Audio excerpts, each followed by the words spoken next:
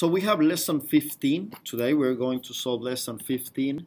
And in this case, um, this is our key. And as always, the lesson starts with um, an example that we go through, we read it. For example, does the equation, and you have it here, have infinitely many solutions? That's the question.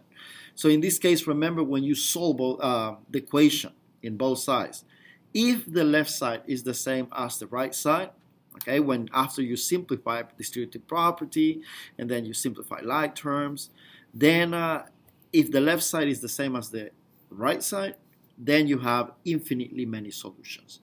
That's, uh, in this case, the rule that we've been following. Now, in this case, they're telling me you can see from this expression that both sides of the equations are equal, or you can further simplify to get 5 equals 5. How do you simplify? Okay, let's subtract 3x. We use the opposite of 3x, minus 3x in both sides of the equations. So in this case, you cancel out, so you have 5 equals 5. And then you can see that after you, after you get 5 equals 5, you have infinitely many solutions because the left side is the same as the right side. So now let's answer questions 1 through 8. Okay, so then they said substitute 4 for x in the equation, in the example, and evaluate both sides of the equations. What is the result? So in this case, if we evaluate this one, left side and right side, for example, let me do this one. 3x plus 5 equals to 5 equals to 3x. Remember that this one is the simplified form of all this expression. So we have 3 times 4 plus 5 equals to 5 plus 3 times 4. This is plus, not equal. So in this case, we have that um, so we have that 3 times 4 is equals 12 plus 5 equals to 5 plus 12 and 12 plus 5 is 17 equals to 17. So I get exactly the same solution in the left and in the right. Now, so I'm going to have the question, answering the question. Um, 17 equals to 17 and yes, it is a true statement. A true statement. Okay, then it says choose any value for x, any value that you want. Choose any value for x and substitute in the equation in the example. Evaluate both sides of the equation. Is the result a true statement? So in this case, let me choose x equals 1. Okay, I'm going. I'm just picking a number. You can choose negative one. You can choose negative two. You can choose zero if you want. I'm going to choose x equals one. So remember, you have 3x plus 5 equals to 5 plus 3x. So I have 3 times 1 plus 5 equals to 5 plus 3 times 1. I'm going to put a question mark because we don't know. We are assuming that we don't know. So 3 times 1 is 3 plus 5 equals to 5 plus 3. And what is 5 plus 3? So we have 8 equals 8, which is a true statement. In this case, you're going to say, yes, it is a true statement. Okay, that's infinitely many solutions. So it doesn't matter the number that you choose, you're always going to have the same solution. Now here, how many solutions does the equation 3x plus 2 equals to 2x plus 14 minus x have? And then you need to explain. Okay, so let me apply two to properties. So I have 3x plus 2 equals to 2x plus 14 minus x. 3 times x is 3x. 3 times 2 is 6 equals 2x minus x is x plus 14. Okay, as you can see, the x in the left and right are different and the independent term and the uh, constant value is also different. So that calls for one solution. One solution. Okay and it says explain. And it says, for example, if you simplify both sides of the equations, gives you 3x plus 6 equals to x plus 14. So the variable terms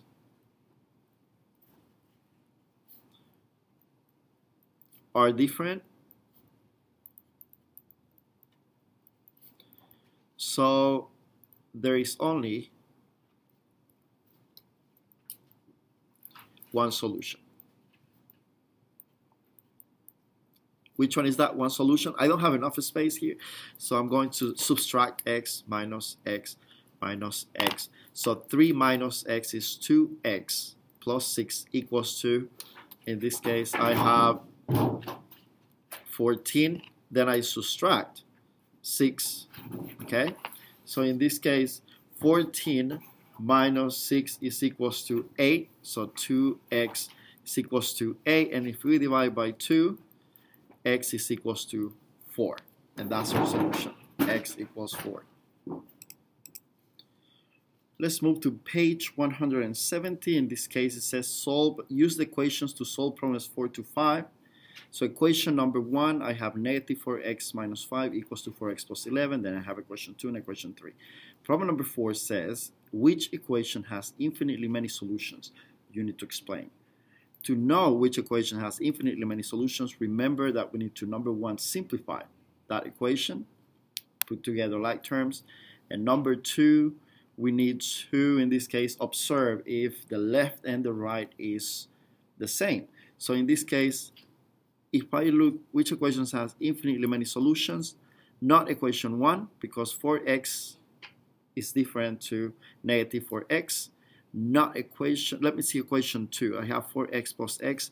This one is the same as 4x plus x is 5x minus 4 equals to 5x minus 4. So equation number 2, equation number 2 in this case has infinitely many solutions because this equation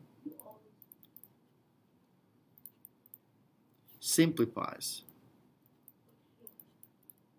as simplifies to 5x minus 4 equals to 5x minus 4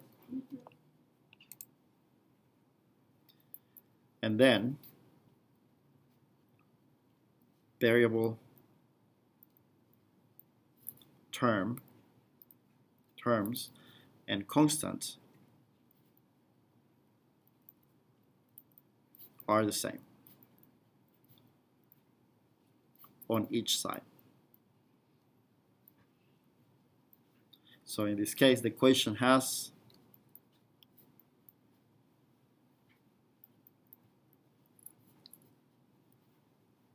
infinitely many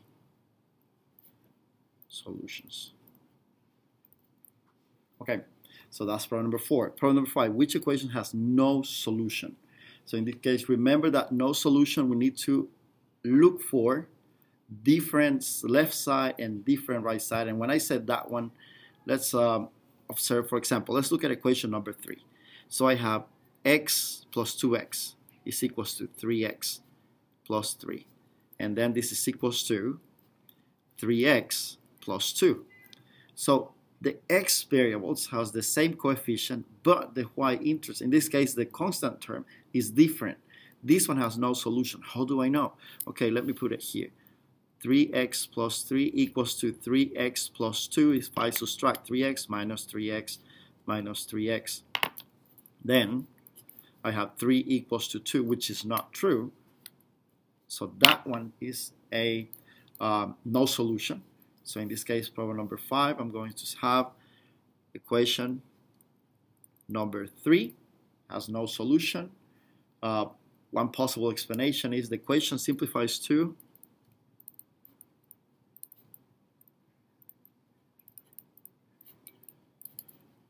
3x plus 3 equals to 3x plus 2, which the variable terms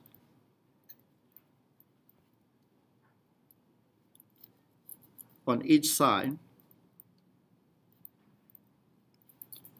are the same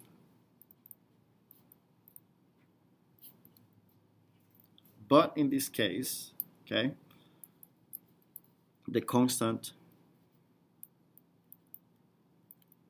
are different.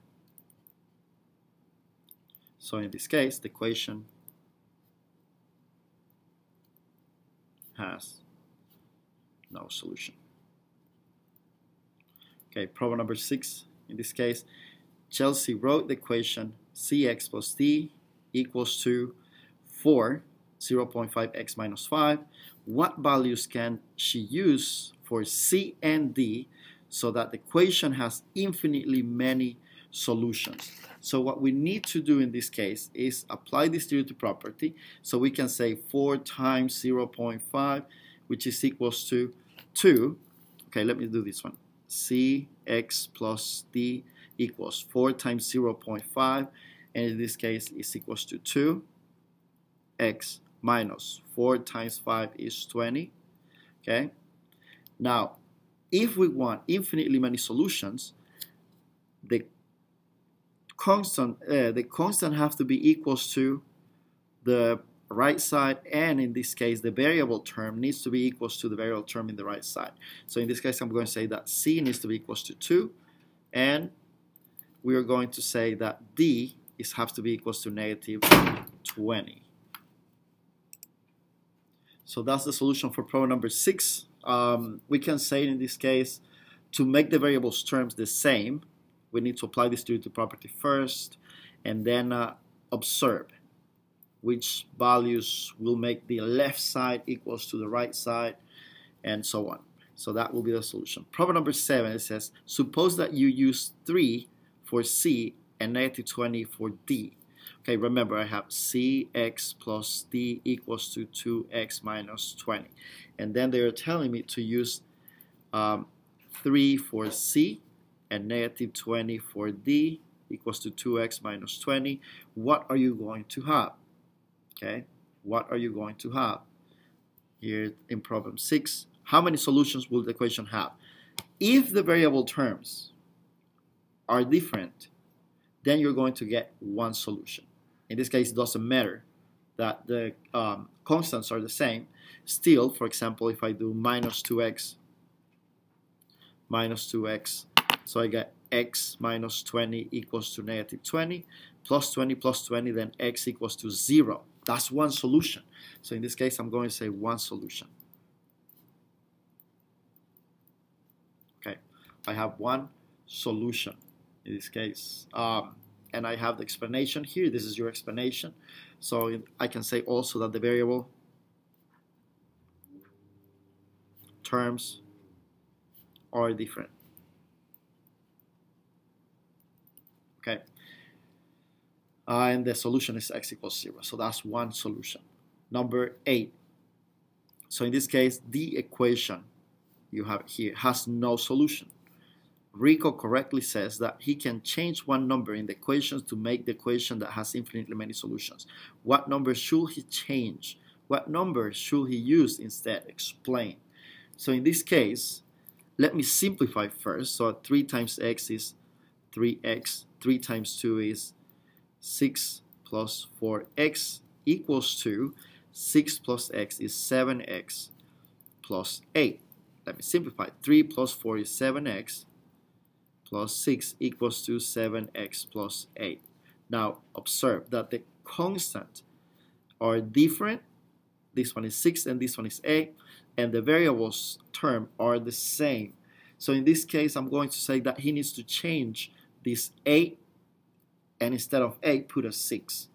So I'm going to do it here. So 7x plus 6 is equals to 7x and I'm going to say plus 6. So I change that 8 for a 6 and that will make it infinitely many solutions. So for example, I'm going to write here, he should change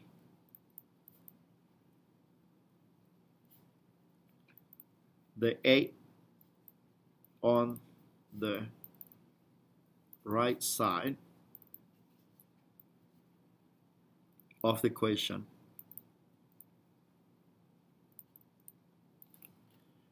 to a 6. Okay, this is a 6. In this case, the constant, the term on the left side of the equation is now 6, so you're going to have infinitely many solutions. So we're going to have infinitely many solutions.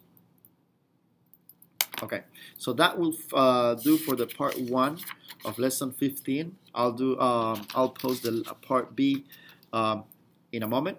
So I hope you have a wonderful day.